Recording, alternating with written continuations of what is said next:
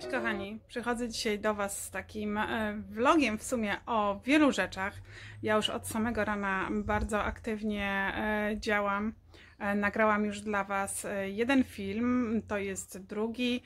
Byłam rano w lodziarni, byłam rano z psem, teraz w lodziarni jest Nikola. W międzyczasie musiałam polecieć jeszcze raz. W międzyczasie byłam też na poczcie.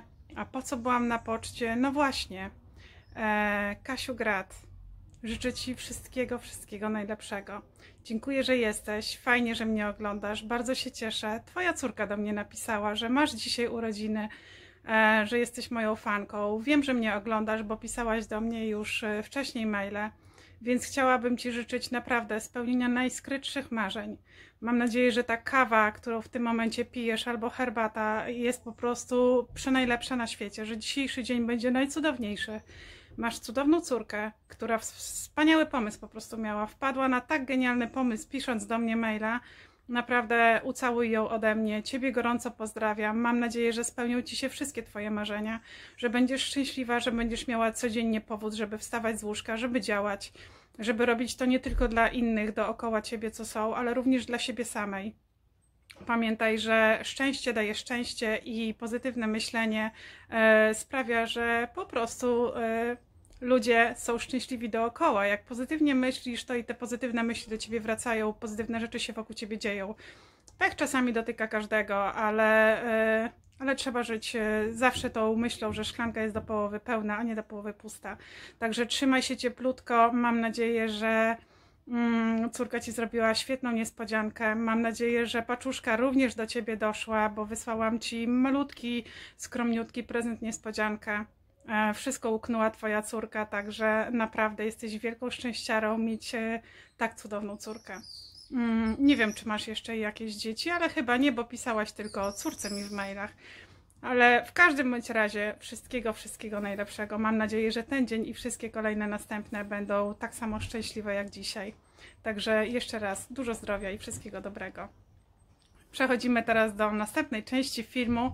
E, to były życzenia e, niespodziankowe zaplanowane przez e, córkę. Także Kasiu Grat, serdecznie jeszcze raz Cię pozdrawiam.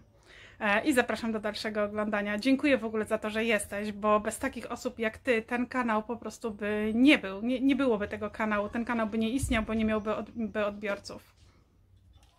Ostatnio dostaję też e, wiele zapytań e, o to, czy, czy jeśli tak, to ile zarabiam na YouTubie. Moi drodzy, ja Powiem Wam szczerze, dopiero dostałam pierwszą wypłatę parę dni temu na YouTubie. Wcześniej nie miałam, pomimo że 1000 subskrypcji i 4000 godzin oglądalności miałam już w połowie kwietnia, ale tam jest spory okres weryfikacyjny. I tak naprawdę myślałam, że coś jest nie tak, że coś mam źle wypełnione, że gdzieś czegoś nie zrobiłam, bo wirtualnie e, konto, znaczy te konto AdSense, co jest Google, ja już miałam założone wcześniej. Mm, jak zakładałam e, jak zakładałam kanał, to założyłam od razu te konto. Ja nie bardzo wiedziałam o co chodzi. Dopiero później gdzieś trafiłam na filmik, w którym to było wszystko objaśnione. Ale że ja to robiłam na samym początku, nie wiedziałam, czy było to dobrze skonfigurowane. I na tym koncie w pewnym momencie zaczęły się pojawiać pewne kwoty, ale był próg wypłacalności 300 zł. E, I pod koniec maja ja już przekroczyłam ten próg wymagalności 300 zł, ale pomimo wszystko nadal tam było, że Twoje konto jest aktywne. E, przeszedł, później przyszedł mi jakiś tam mail z weryfikacją, mm, ale e, ja już potwierdziłam te konto. Faktycznie na moje konto zostało przez Google przesłane drobna kwota, to są groszówki, bo to, tak w Google wygląda proces weryfikacji. E, no i to też przeszłam, potwierdziłam, wpisałam kwotę, która mi później przyszła, no i nadal nie było tej wypłaty. Cały czas te pieniądze były gdzieś w Google mm, zawieszone. I tak naprawdę ja w pewnym momencie zbaraniałam i mówię, napiszę do dziewczyn, e, poczekam jeszcze do końca tego czerwca, bo już wiedziałam, że te płatności są mniej więcej po około dwóch miesiącach, e, bo tyle trwa proces weryfikacji. Ale u mnie same, sama weryfikacja trwała bardzo krótko. Więc e, od czegoś innego musiało być to zależne. Próg też już jakiś czas temu osiągnęłam. Nie wiem o co chodziło, ale sam proces weryfikacji to było u mnie kilka dni, odkąd dostałam informację na Gmaila, że YouTube już jest moim źródłem zarobkowym e, i że wysłał mi e, specjalny kod PIN na skrzynkę pocztową, która może iść do 6 tygodni, to ja to miałam po tygodniu. Niecały tydzień czasu na to czekałam i przyszło do mnie. No i później ten proces weryfikacji, właśnie przesyłanie jakichś tam groszówek, które trzeba później wpisać, ile tam groszy wysłali na konto, żeby potwierdzić, że faktycznie ja jestem właścicielem tego konta.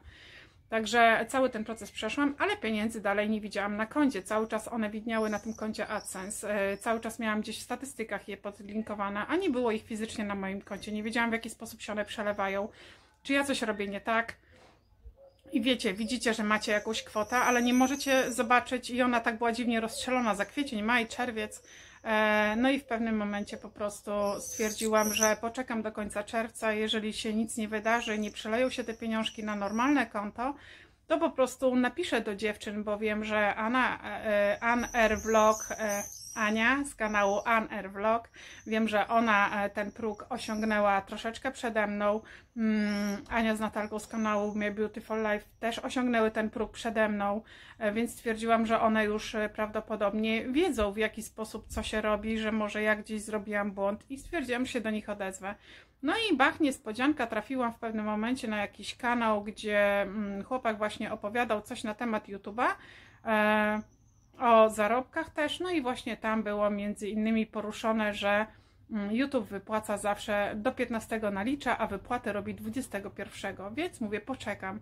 I faktycznie 21 był u nas w niedzielę, a 22 na moim koncie z konta AdSense zostały przelone pierwsze pieniążki.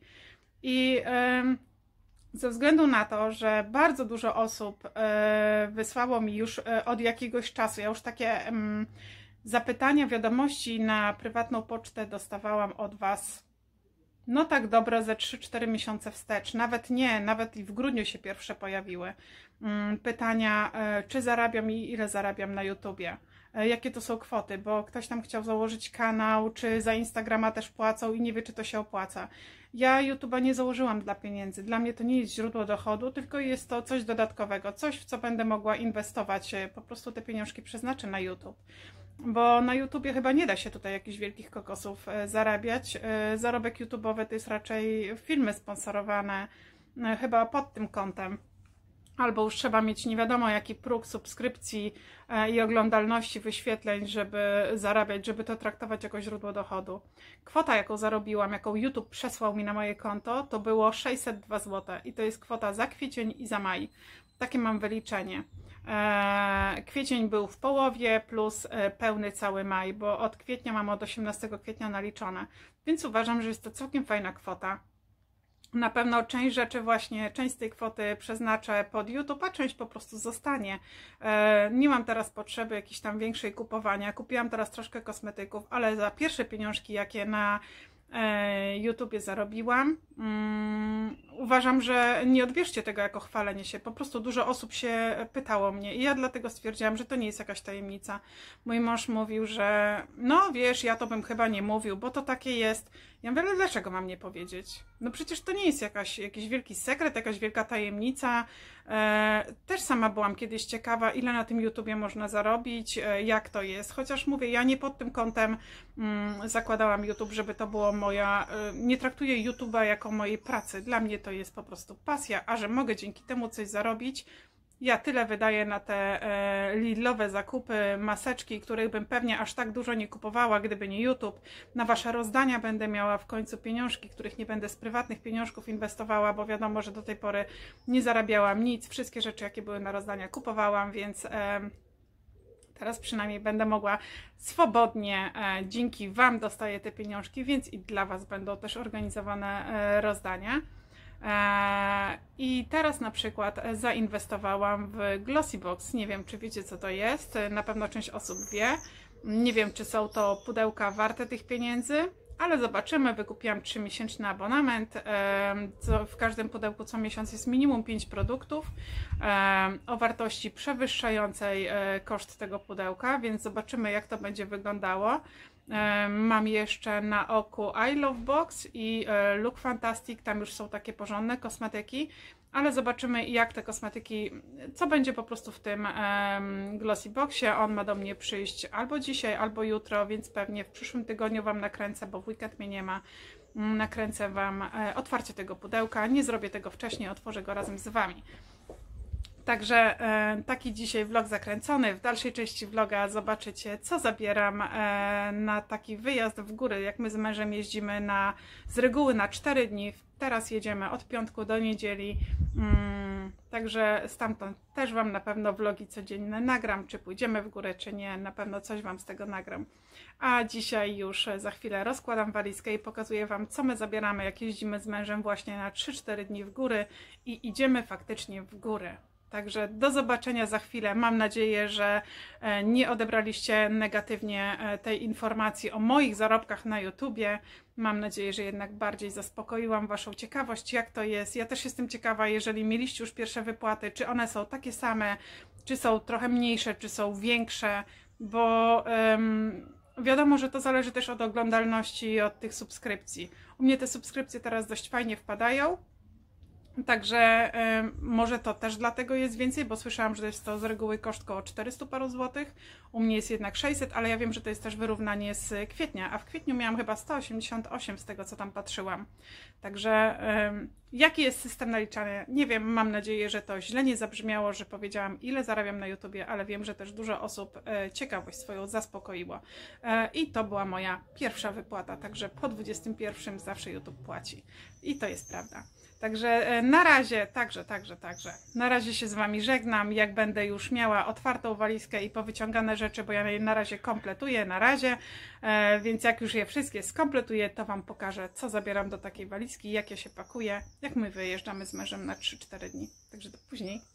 No i czas już mnie mocno nagli. Muszę Wam już pokazać, co mam w tej walizce. Tak pi razy drzwi już ją e, na razie jeszcze nie spakowałam, tylko e, wystawiłam, żeby Wam pokazać, co ja do tej walizki zawsze pakuję. Nie ma tutaj tylko ciuchów, które w sumie wezmę na siebie, ale to już Wam wszystko powiem, jak Was odwrócę. No i zobaczcie, tak się to wszystko mniej więcej prezentuje. Rozpoczynamy najpierw od tego, że e, do walizki idą dwa plecaki. Ten jest mój. Tu jest męża, większy. E, my plecaki kupowaliśmy w sklepach z turystyczną, e, z turystycznymi rzeczami. One mają o tyle fajnie, że mają tutaj taką siatkę, która chroni e, plecy, nie pocą się tak plecy. I w moim plecaku jest to samo, ja mam Elbrusa, mój mąż ma z tego Mont coś tam. Także u mnie jest też taka, tylko że Osobiście tego plecaka bym drugi raz nie kupiła, bo jest bardzo mało pojemny. Niby ma niewiele mniej e, pojemności mm, ten plecak od męża. Wielkościowo widać, że jest bardzo duża różnica. Ale tak naprawdę do mojego męża plecaka można duże rzeczy naładować, a do mojego nie właśnie przez to wgięcie, bo ono tutaj zajmuje sporo miejsca i on nie jest już taki pakowny ale my się zawsze pakujemy w dwa plecaki, mąż bierze jakieś tam butelki, cięższe rzeczy, e, grubsze opakowania, takie na przykład typu chipsy czy coś tam, a ja biorę wtedy już inne rzeczy. Albo na przykład on bierze jakieś e, ciuchy, które też e, ze sobą zawsze pakujemy. No i rozpoczynamy po kolei. Tam w walizce to jest nasza całkowita walizka. My zawsze bierzemy jedną walizkę. Kiedyś jechaliśmy nawet na trzy dni z dwiema walizkami, teraz już mamy jedną. E, tu się znajdują ręczniki kąpielowe. W hotelu mamy ręczniki, ale to są ręczniki na termy. E, więc jak e, pojedziemy na termy, to żebyśmy mieli ręczniki, bo w hotelu chyba ręczniki są też na basen. Mamy basen, ale na pewno na termy pojedziemy. Tu jest mój strój kąpielowy, stroje kąpielowe. E, tam są klapki mojego męża i moje. Ja na termy zawsze biorę zwykłe klapki. Klapki mam zwykłe, zakupione kiedyś w CCC, muszę je tylko przemyć, bo widzę po ostatnim basenie jeszcze jakichś takich nabrały dziwnych kolorytów, ale ja nie inwestuję w klapki, dlatego że kiedyś jak byliśmy e, w termach e, w Chochołowie, to e, miałam klapki Adidasa i mi po prostu klapki ukradli. Więc od tamtej porty, pory, porty, od tamtej pory Marta nie gwiazdorzy i na termy zabiera byle jakie klapki, oby e, noga się w nich nie obcierała. Więc są to najtańsze klapki takie. Już widać, że one chlorem objechane. Mówię byle co, także nie zdziwcie się jak mnie kiedyś spotkacie. Ja lansu na termach nie robię. Nie mam strojów nie wiadomo jakich i klapek nie wiadomo jakich bo mi po prostu ukradli, a termy się na mnie wypięły. Złożyłam e, skargę, ale po prostu się na mnie wypięli. Stwierdzili, że nie jest to ujęte akurat na kamerze, bo w tym miejscu kamera nie sięga. Dobra, nie będę kontynuowała tego tematu, bo jest dla mnie drażliwy. Od tamtej pory na termy chochołów nie jeżdżę. Tutaj mamy oczywiście aparat fotograficzny. Ja już Wam chyba kiedyś pokazywałam. My aparat jaki mamy to jest e, pospolity YouTube'owy Canon e, G9X. E, pospolity to jest G7X, bo on ma z tyłu tutaj taką wysuwaną, wysuwany podgląd, więc jest o tyle fajny. E, my ten aparat już mamy bardzo, bardzo długo. W środku są również dwie baterie. Jedna jest w aparacie, właśnie mi się rozpięła. E, jedna jest w aparacie, a druga jest schowana rezerwowa. One już są naładowane. Ja już dzisiaj naładowałam baterię. No i się schować nie mogę. Biorę oczywiście czapkę jako osłonę, rękawiczki, bo nie wiadomo kiedy się na trasie przydadzą, a z reguły się przydają. Ja dzisiaj przeglądałam trasę, to jest trasa ponad 2000 metrów więc e, wysokości, więc e, obawiam się, że rękawiczki mogą się przydać. Zawsze je zabieram ze sobą. Tu są płaszcze przeciwdeszczowe, jeszcze nigdy przez nas nie używane, ale one są takie grube. E, to nie są takie foliowe worki, które się zazwyczaj rwą, bo one są po prostu niepraktyczne. My już kupę kasy na te worki wydaliśmy, więc zainwestowaliśmy w porządne, ale jeszcze nie były używane, pomimo, że już mają chyba ze dwa lata. Tu oczywiście sprzęt do YouTube'a, do YouTube'a, jeden, mamy gimbala, Mamy ten i mamy ten z Lidla, na którym najczęściej ostatnio, ten jest do telefonu, e, ten niebieski bierzemy pod aparat, to są kijki, co mają ponad metr długości, więc bardzo fajnie. E, moje oczywiście górskie skarpetki, skarpetki do butów górskich, o właśnie butów tutaj nie wzięłam. E, saszetka, ja zawsze w niej trzymam telefon, pieniążki i powerbanka i słuchawki. I to jest jedyne, co się znajduje w tej saszetce. Chusteczki na drogę Domestos. E, nie wiadomo, co się tam trafi. Raczej nie będziemy korzystać, ale jak już, to wolę w dobie pandemii jednak z takich chusteczek e, skorzystać. Tym bardziej, że je miałam. Oczywiście powerbank, rzecz e, dla mnie po prostu od bardzo, bardzo dawna nie do, nie do odpuszczenia przy pakowaniu. Ona zawsze musi być. Kabelek jeszcze muszę wziąć do powerbanka, bo go nie spakowałam. Tutaj następnie przechodzimy, mm, mamy ładowarkę do, do aparatu, do baterii. No i tu mamy zestaw, y, który zawsze jest w moim plecaku. To jest jeden bandaż. To jest zawsze Ibuprom, y, albo Max, albo Sprint. To jest y, Altacet w tabletkach do rozpuszczania w hotelu. E, to jest do użytku, my to zawsze trzymamy w lodówce i jak wychodzimy to pakujemy do plecaka. E, ja zawsze zestaw medyczny mam przy sobie. Mm, wielokrotnie z niego korzystaliśmy, przede wszystkim z tego, genialna sprawa, e, to oczywiście do, do altacetu, to jest maść, którą dostałam kiedyś w szpitalu w Zakopanem, jak byłam z kontuzją, przeciążyłam kolano, bo ja mam problem z kolanami, więc to mi lekarz kazał odpoczywać, tym smarować i na zmianę robić okłady z zimnej żelki. Więc zim, e, żelka jest teraz ciepła, ale ona pójdzie do lodówki, jak zajedziemy do hotelu i wieczorem pewnie się przydadzą takie kompresy. Moja nakładka na kolano, którą zawsze zabieram ze sobą. E, ona ma tutaj usztywnienia z jednej i z drugiej strony. Brudna jest, bo często ją pod dżinsy zakładałam, e, jak chodziliśmy gdzieś na dalsze trasy i nie miałam kompletnego stroju a nie wypiorę jej, bo e, usztywnienia mi pójdą. Można ją wyprać ręcznie. Także ta jest moja e, z wycięciem na rzepkę. E, ta jest mojego męża i ta jest również moja. Tą dostałam też od chirurga. Następnie mamy maść przeciwbólową. I ostatnią rzeczą, jeżeli chodzi o sprawy medyczne, to jest jeszcze arkalen w żelu i plasterki, jakby się coś tam wydarzyło. To są rzeczy, które ja zawsze zabieram, jak jedziemy w górę. Zawsze. I one są zawsze w moim plecaku. E, następnie oczywiście mamy panoramę, schematy szlaków. One są fajne, fajnie podzielone, bo mamy tutaj na przykład pod jedyneczką jest Dolina Chochołowska. Tu jest pierwsza trójeczka, bo my z trójeczki będziemy korzystać.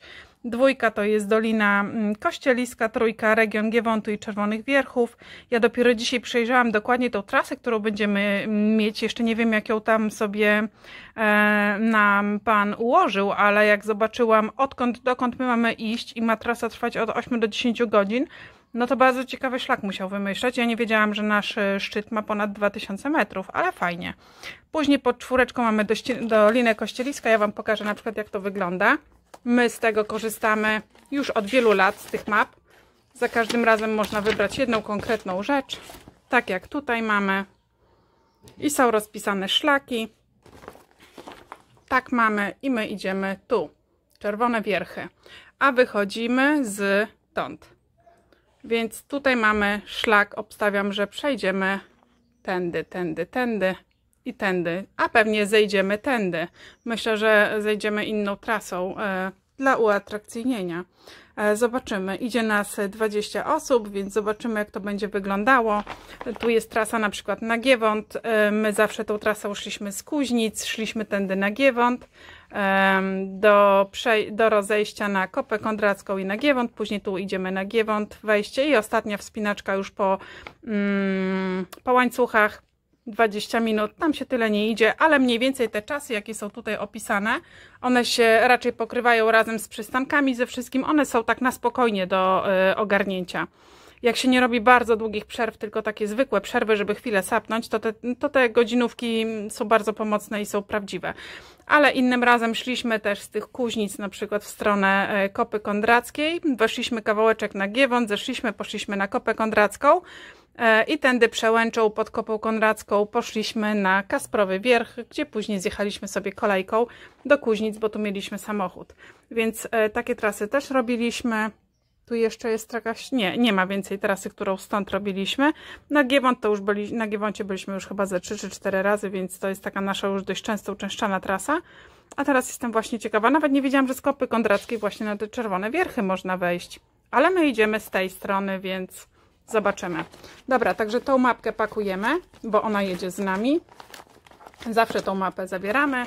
Tu mamy jeszcze inną mapę, którą też często ja wydrukowałam, też często z niej korzystamy. To jest mapa na rysy, więc to jest mapa, której do tej pory jeszcze nie zrobiliśmy, ale na przykład wiele razy szliśmy z Palecznicy Białczańskiej e, do Morskiego Oka i tu mamy Morskie Oko, czarny staw pod rysami, a szliśmy też e, tutaj na przełęcz pod szpiglasowym wierchem. Tu mamy przełęcz, tu mamy szpiglasowy wierch i ostatnio schodziliśmy tędy i tędy i szliśmy przez Dolinę Pięciu Stawów ze schroniska. Tu już się schodzi łańcuchami kawałeczek. E, szliśmy też inną trasą, której tutaj nie ma, ale ogólnie jest e, fajnie mapka rozpisana i godzinowo to się sprawdza, więc to na pewno też zabieramy. E, oczywiście słuchawki, tu nie ma jeszcze ładowarki do telefonu i kosmetyki, jakie zabieram. Nie biorę żeli pod prysznic i szamponów, bo w piątek umyję włosy, w niedzielę wrócę, to sobie umyję już w domu. Mm, poza tym kosmetyki mamy w hotelu, więc e, biorę tylko z kosmetyków tuż do rzęs, krem pod oczy, krem nawilżający na wieczór, żeby nałożyć, do demakijażu. E, oczywiście tu mamy jeszcze płatki kosmetyczne, to jest do demakijażu. E, biorę jeszcze oczywiście no, żel do mycia buzi. Tu jest ten e, nowy Yves Rocher. Mm, które Wam już chyba pokazywałam, bo chyba filmik był. I on ma trwałość, moi drodzy, zobaczcie, od 12 do 16 godzin. Ja byłam w szoku, jak ja to przeczytałam. Także super, SPF 50, zobaczymy, czy on nie bieli. I dodatkowo mgiełka z Holiki Holiki SPF 50 na całe ciało i również na twarz, to zabieram również w górę. No i z Bielendy mm, moje serum i oczywiście Sensumare Tonic Marian, to jest jakby luksusowe. E, I oto nasza cała walizka, w sumie rzeczy, które zawsze zabieram ja, dodatkowo dochodzą e, rzeczy męża, tu są jeszcze moje spodenki, tu mam mm, jedne spodenki Pumy, w których zawsze chodzę na szlaki, to są spodenki, które ja używam również na siłowni, tu mam koszulkę z, e, nie powiem Wam jak ta firma się nazywa, mają takie logo, o takie logo mają, Regu, coś tam, coś tam. Miałam od nich getry, ale szczerze nie polecam, bo prześwitują niemiłosiernie. Metki już powycinałam. Także ona jest o tyle fajna, że właśnie ma tutaj boczki z siatki. E, I to jest typowo fitnessowa, ma również odblaski, jakby się coś tam działo. I z tyłu również ma takie, e, ma taką siatkę na plecach, więc się fajnie w niej idzie. E, i drugą zapasową, bo nie wiem, czy my dwa dni w górach nie spędzimy. Z nami to nigdy nic nie wiadomo. To już jest bluzeczka z Decathlonu, z zameczkiem, bardziej ze stoiska rowerowego, ale tutaj cały bok ma właśnie z siateczki, więc jest bardzo przewiewna. No i getry, które ostatnio kupiłam w tym sklepie MP, co to było? My Protein. Także te leginsy zabieram. No i pewnie jakieś tam jeansy i jakąś bluzeczkę, żeby wieczorem się przebrać i nawet pójść na basen, na termy, gdziekolwiek, wyjść do knajpy, posiedzieć, odpocząć, wypić wino, posłuchać góralskiej kapeli. Także dochodzą do tego tylko ciuchy, ale to są takie rzeczy, które zawsze ze sobą zabieramy. Dobra, e, no i jeszcze oczywiście moje buty. Moje buty. Idziemy po moje buty, bo ja butów nie zabrałam. No i już mam jeszcze moje ulubione buciki Kolumbii. Najlepsze buty w góry, jakie do tej pory trafiłam. Naprawdę buty są niezawodne, wygodne, leciutkie, nie obciążają stopy. I e, ogólnie, o, przyszła Azji, która jest bardzo zainteresowana, bo nie bardzo wie o co chodzi. Co tu się dzieje, co to za walizki w ogóle są w domu. Tak? Azji? Azji? O, będziemy się przeciągać, tak. Mój wielki pies. Tak? Będziesz tęskniła za pancią? Co? Czmutaszku. Pokaż, jakie tu masz piękne zębiska. Pokażesz zębiska? Pokaż zębiska. Co? Ona ma fazę snu w południe. Dobra, wracając do butów. Mówię, najlepsze buty. Już teraz sobie drugie Kolumbii wypatrzyłam. Muszę je trochę przetrzeć, bo po ostatnich szlakach widzę są troszkę zdemolowane. Ale to nic. Zaraz je przeczyszczę. Także ja się pakuję w walizkę, mąż tylko dopakuje później swoje rzeczy, bo większość jest wspólna. Mm, no i cóż, i jedziemy.